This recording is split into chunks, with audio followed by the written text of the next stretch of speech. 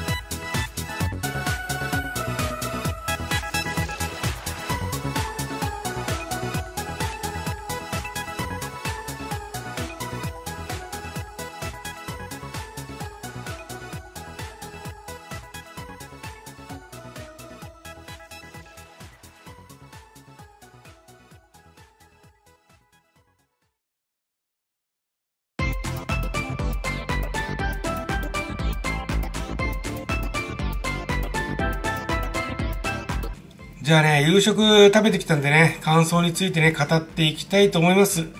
まあ、夕食のバイキングはね、相変わらず、いつも通りのね、伊藤園のクオリティのバイキングと。まあ、そういう感じですね。うん。まあ、ちょっとね、期待したのが、ここ函館なんで、あの、お刺身とかね、まあ、ひょっとしたらいくら工場飯とは言っても、ね、あの、北海道の工場飯だから、わりかしいいもの食えんのかなと思って期待したんですけど、まあ、それはいつも通りだったかな。うん。ただ、そんな中でね、えっ、ー、と、バイキングで珍しかったのが、えっ、ー、と、石狩鍋だっけな。まあ、そんな名前のやつがあったんですよ。まあ、北海道のなんかお味噌汁みたいな。まあ、それは美味しかったですね。あとはね、肉豆腐が美味しかった。まあ、正味の話をするとね、あのー、私たちは今回、ね、バイキングをチョイスしたんですけども、確かここ素泊まりあったんだっけな、なかったんだっけな、ちょっとわかんないですけど、うん、やっぱり料理に期待をするんだとしたら、素泊まりプランにして、まあ、あの、あれだね、函館の街出て、まあ、それでご飯食べた方がいいかなと。まあ、そんな風にはね、ちょっと思いました。感想の方は以上です。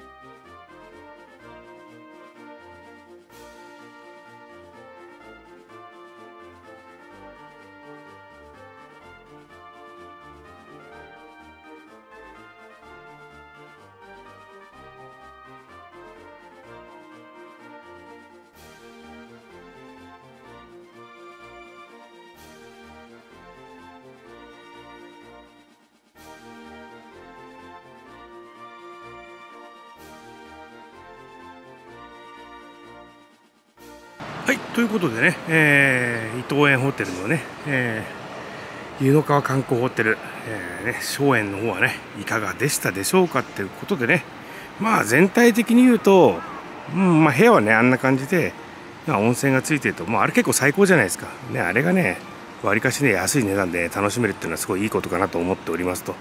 で、まあ、がっかりだったのがね、まあ、食事だよね、食事。あ食事がまあ至って普通のバイキング、まあ、あの北海道館ゼロ。